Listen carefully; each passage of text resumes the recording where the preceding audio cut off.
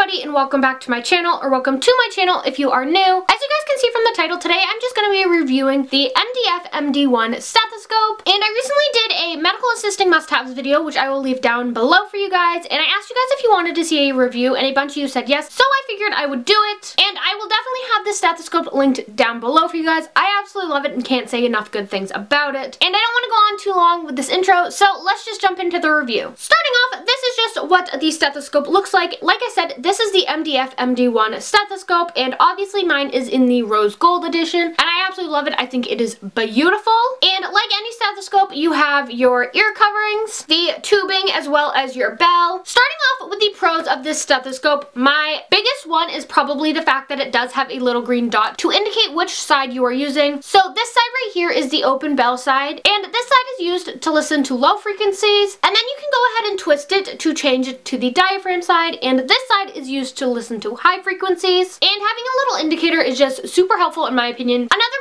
thing about this stethoscope is that it does have a longer tubing. From where the tubing lies off down to the bell is about 21 inches long, whereas a Littmann stethoscope is only about 18 inches long. And this is just a little bit of a comparison. It may not look like much to you, but when you're out in the medical field using your stethoscope and listening to patients' hearts or lung sounds, sometimes you may feel really up close and personal with them if you are using a stethoscope such as a Littmann, but with this one, those few extra inches definitely give you some leeway and you don't feel like you're invading their personal space.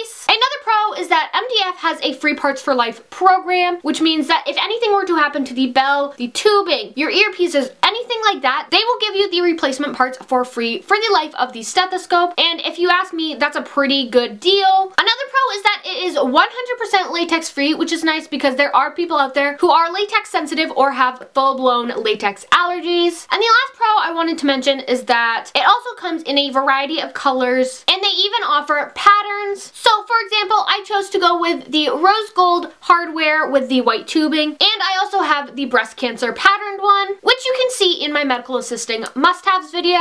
Moving on to the cons, these really aren't cons in terms of the functionality of the actual stethoscope. They are just little nitpicky things that I have found. The first is definitely that a white tube tends to get dirtier. Obviously I knew that beforehand and I didn't expect it to be in pristine condition for the life of the stethoscope, but that is definitely something to keep in mind is pick your colors wisely. And the second con for me is that it is a little bit heavier. It's not like pounds heavier, but there is a significant ounceage difference between my Littmann and my MDF. In the end, if someone were to tell me that I could only pick one stethoscope to have and use for the rest of my career, I hands down would definitely go with my MDF. I just love everything about it. I love all the features. I love the free parts for life program they offer. I love all the different colors and patterns you can choose from, as well as their customer service in general. So that is just my review of the MDF MD1 stethoscope. I absolutely love this stethoscope. I think it is great for anyone in the medical field, and I especially like that they do the free parts for life program, because if anything were to happen to your stethoscope, they will give you the parts for free for the lifetime of the stethoscope, which is pretty awesome if you ask me. If you guys liked this video and would like to see more medical assisting related videos, be sure to check out my second channel, which is dedicated to my journey through college. And also be sure to give this video a thumbs up. While you guys are down there, be sure to hit that subscribe button to see new videos from me every week and become part of the Alipaka squad. I hope you guys like this video and I'll see you guys next time. Bye